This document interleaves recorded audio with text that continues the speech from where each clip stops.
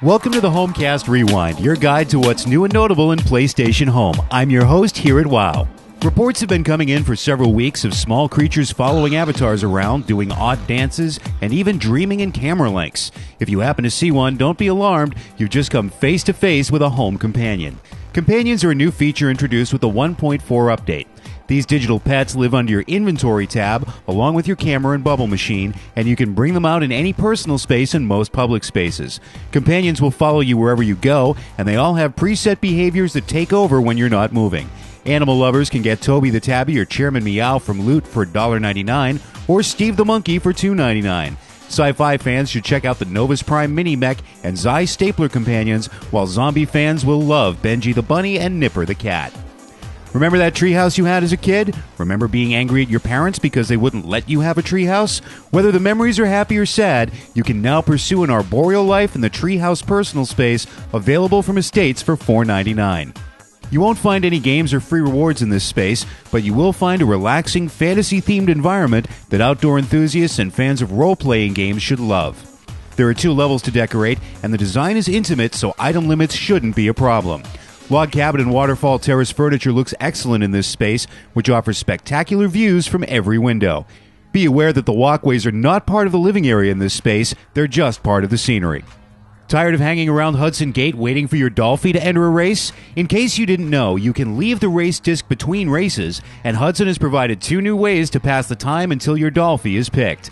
First up is the Hudson Theater, where you can see developer interviews and trailers for Hudson titles. Grab a drink from the Dolphy bartender at the back of the theater, and be sure to check in with the Dolphy on the first floor of the space. Ask this Dolphy about the fish rally, then start collecting superfish. Once you get to 50, you'll receive a new hat just like the one on this Dolphy's head for your own Dolphys to wear. After the theater, head over to the Bomberman Dome, where you can unlock some free rewards by playing Bomberman Survivor. This game is simple enough. Just collect the keys and avoid the explosions so that you don't lose a life. Get scores of 10, 40, 80, and 100,000 points, and you'll unlock Bomberman panel ornaments to add a splash of 8 bit style to your personal spaces and be recognized as a Bomberman master. Scoring all those points is easier than it looks. Point values for the keys increase with the number of players, so always look for a game with a lot of people playing. You won't get far in this game trying to play it on your own, as there isn't enough time to collect all the keys on higher levels.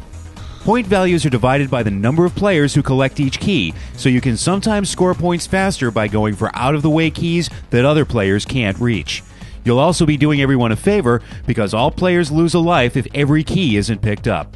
Be sure to make a mental note of where to find safety from the bombs before each level begins, and throw on a Bomberman outfit to add an extra dash of classic gaming style while you play.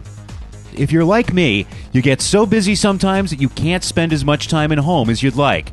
This is a particular problem for Dolphy owners because that champion racer can get angry after a few days of neglect. They'll also get mad if you don't vote for them in a race that they win. So, what do you do when your Dolphy's mood turns bitter? First, you need to know how bad the damage is. At the Dolphy Center, call a Dolphy, choose race, then choose a strategy. Your Dolphy's reaction to your strategy will tell you its mood. If it likes or really likes the strategy, it's happy and ready to race. If it's okay with your strategy, or worse, it doesn't get your strategy or decides to ignore it, you have a very angry and unpredictable Dolphy on your hands. There's even a chance that it will ignore your strategy during the race or refuse to race at all. There are two ways to raise your Dolphy's mood. One is to play the ring game and get a score over 70, the other is to race it daily. Based on my own experiments and comments from other Dolphy enthusiasts, playing the ring game seems to be the fastest way to get that angry Dolphy back in racing shape. Play the ring game once a day until the Dolphy's mood improves, then make sure to race it or play the ring game with it at least once every other day. Hudson has provided plenty of reasons for racing, as you'll keep unlocking new trail effects for your Dolphys right up to 500 votes. If you haven't tried Dolphy racing yet, be sure to grab the Dolphy room from Hudson for just $3.99. You'll be able to raise and race up to three Dolphys of your own, win some trophies, and have a unique personal space with dolphins swimming overhead. That's all for now. Remember that you can keep up to date on the latest home news by visiting the PlayStation blog and the home forums at community.us.playstation.com. And look for a new Homecast audio edition every Saturday afternoon at gamer-indepth.com. Until next time, this is HearItWow. See you in PlayStation Home.